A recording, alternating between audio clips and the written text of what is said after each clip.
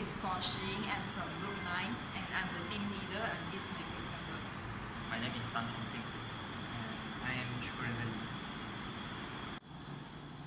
We are doing option 2 4-bit serial multiplier version 2.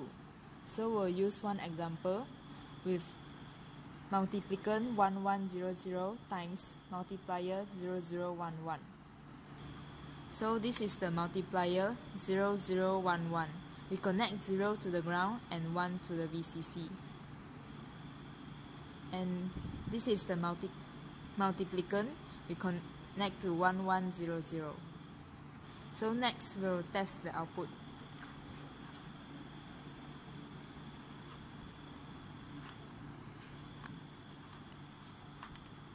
So the output is 001, 00100. This is the MSB and this is the LSB. We switch off the switch to reset